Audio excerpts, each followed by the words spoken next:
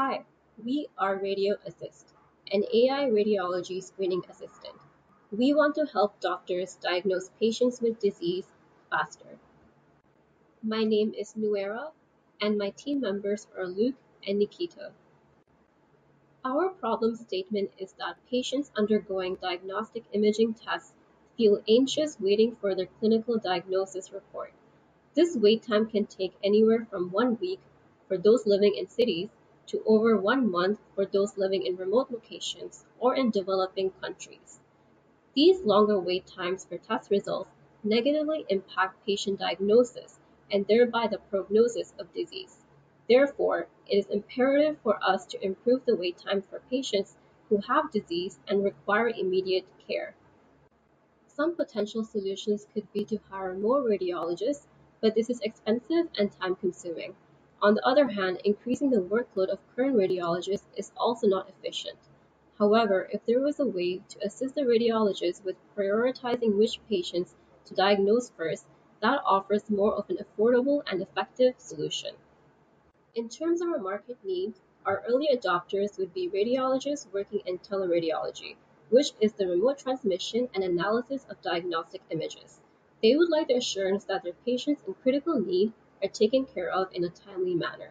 Later on, the larger market would be hospitals who would be implementing this technology in their existing radiology departments. On the business side, the market size for X-rays is at least $8 billion. We are offering an API product. Our initial business model will be a free trial for early adopters. For the long term, we propose a transactional business model where we charge by usage per patient image file. For business scale-up, we plan to integrate models for other imaging modalities such as CT scans and MRI, along with different disease datasets, and we plan to charge an additional fee to access these models. Finally, the cost of development and operation is about 300k per year. For our product strategy, the ultimate success metric is to reduce patient wait time for diagnostic test results. One factor that contributes to lengthy wait time is knowledge of disease, which is dependent on radiologist expertise.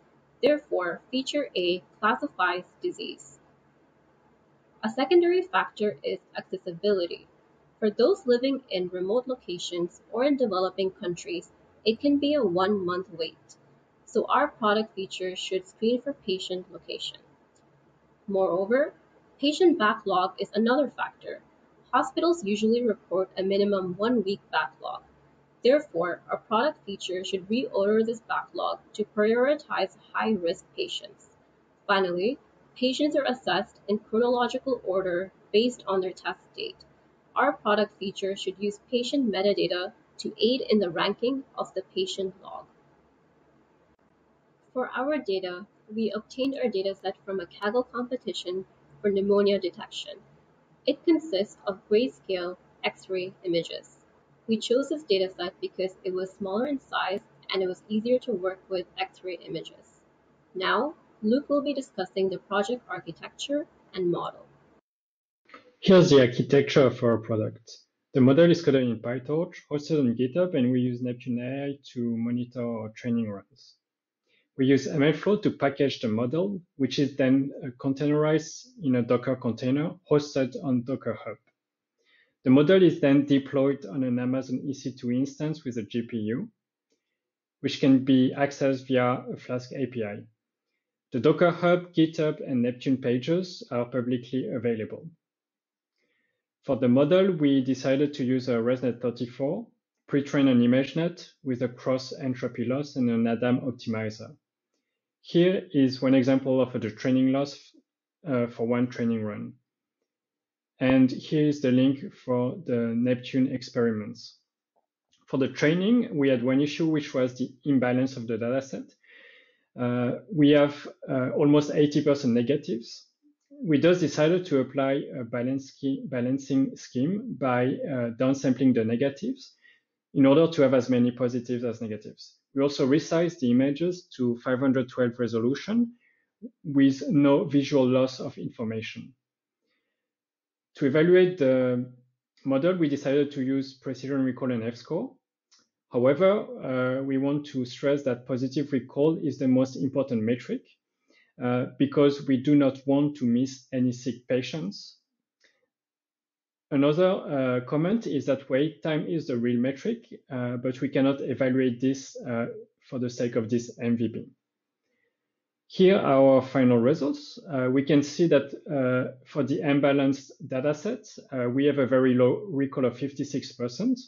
However, using the balanced dataset, we managed to um, reach a recall of 92% and a precision of 85.4%. Uh, and now, for our alpha release, we allowed users to upload patient files and we displayed the patient images. We also provided a mock-up of the patient logs. The original patient log ordered patients in chronological order based on the upload queue, whereas the updated patient log sorted by prioritizing the patients with the higher likelihood of disease at the top. We received important feedback on the alpha release. The radiologists had interest in the solution.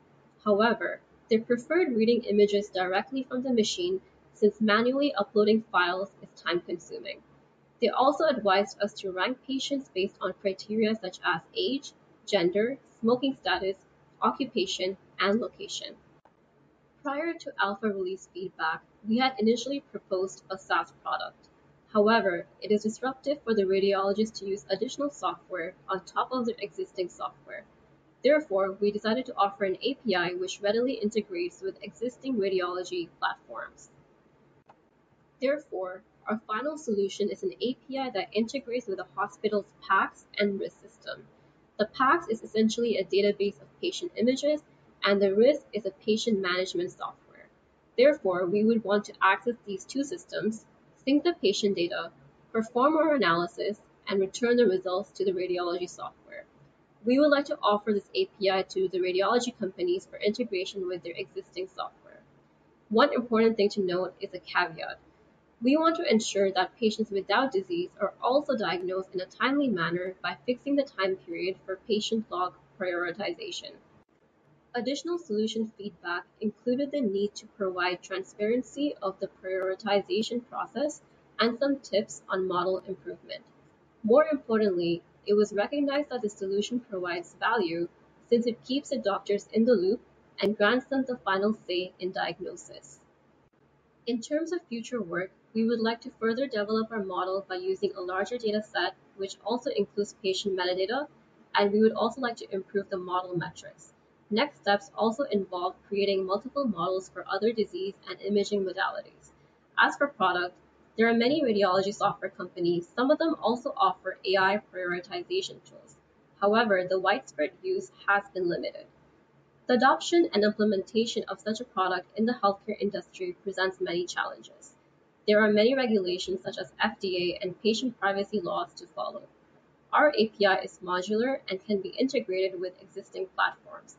The goal is that by partnering up with radiology companies who already have a legal foothold at hospitals, they can help guide us to ensure that our product meets industry standards.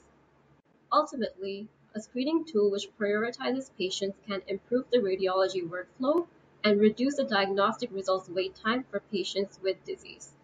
Please check out the links shown below for additional information. And now we will be giving a brief demo.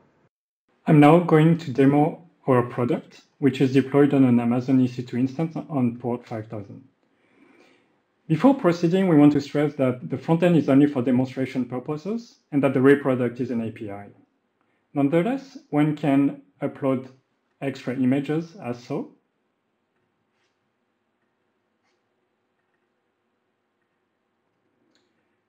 and then browse through them. We want to stress that uh, the doctor won't have to manually upload images uh, because they will be directly taken from the hospital database. One can then view the patient log. So here on the left, we have the original patient log for which patients are ranked in chronological order. On the right side, we have uh, the updated patient log at the top, we have the likely sick patients, and at the bottom, we have the non-sick patients. And in the middle, we have some patients for which illness is uncertain.